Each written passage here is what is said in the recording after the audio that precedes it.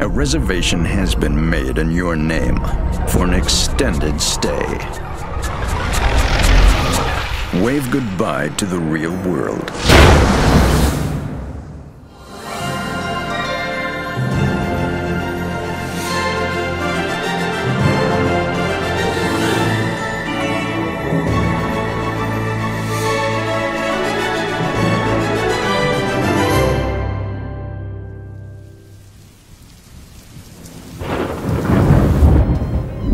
Hollywood, 1939. Amid the glitz and the glitter of a bustling young movie town at the height of its golden age, the Hollywood Tower Hotel was a star in its own right, a beacon for the show business elite.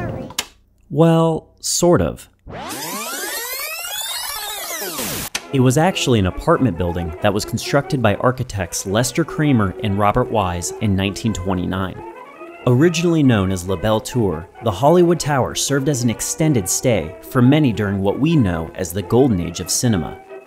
While the film industry was just getting started, legendary talent such as Humphrey Bogart, Marilyn Monroe, and Charlie Chaplin were all guests seen frequently staying and roaming the halls. At the time, it was a sophisticated living environment with more than 50 apartments inside the French Normandy style building. Its famous neon sign was hard to miss while driving on the then newly paved 101 freeway. While La Belle Tour officially changed its name to the Hollywood Tower in the 1950s, it also changed hands and was purchased and sold to different investors throughout the 60s and 70s.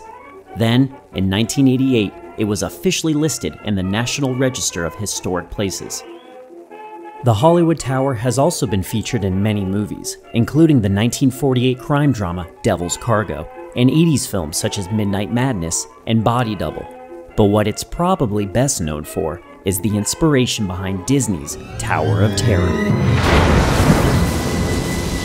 Based off of Rod Serling's hit show from the 1960s, the Twilight Zone Tower of Terror opened its elevator doors in July 1994 at Walt Disney World. The attraction invites guests inside the abandoned Hollywood Tower Hotel, which supposedly closed after a disastrous accident on October 31, 1939. Lightning had struck the building, causing five people to plummet to their death while inside the hotel's malfunctioning elevator. At over 199 feet tall, the attraction is actually 90 feet taller than the real tower in Los Angeles. While the overall design of the attraction resembles that of the one in Hollywood, Imagineers also used the Millennium Biltmore and the Riverside Mission Inn as inspiration for the ride's interior and exterior design.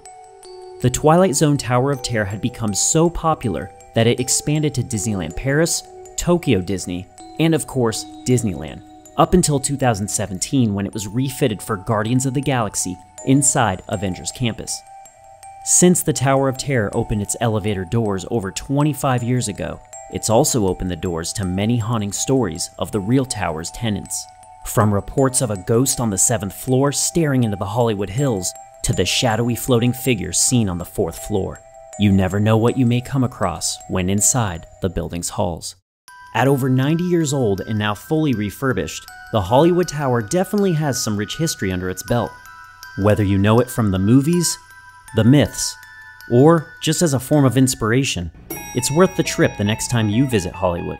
But just know what kind of vacancy you're filling, or you may find yourself a permanent resident of the Twilight Zone.